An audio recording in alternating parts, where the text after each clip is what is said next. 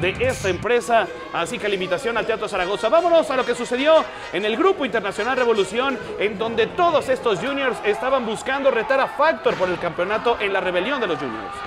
Aparecían los Dinamita, aparecía Carta Brava Junior, los Traumas, el Fresero Junior, Supernova, que es hijo del Tejano, Apolo Estrada, que vive un gran momento en el Grupo Internacional Revolución. Me parece que aquí los Dinamitas, siendo equipo y también los Trauma, tenían una ventaja para llegar lejos. Y así comenzaban también el hijo del pirata Morgan sobre el público backcracker que le aplicaban al fresero, la plancha y el primer eliminado era Apolo Estrada Jr. Las cosas llegaban hasta la esquina fría, ahí con ese suplex por parte del fresero.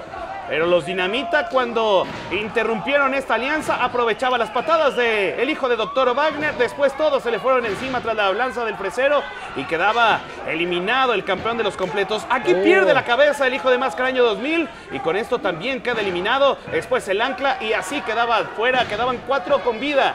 Wagner ya no estaba en esta contienda. Reguiletti quebradora después, el mortal hacia atrás del hijo del pirata Morgan, las patadas sobre las piernas.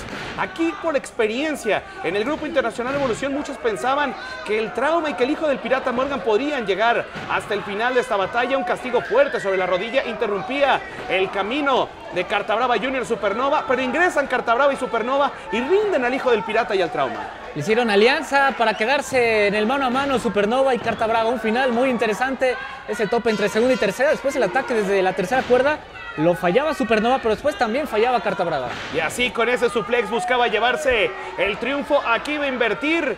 Y con esto, Cartabrava Junior se lleva la victoria. Deja en el camino a Supernova. Factor estaba observando las acciones. Esto fue lo que dijo Cartabrava Junior.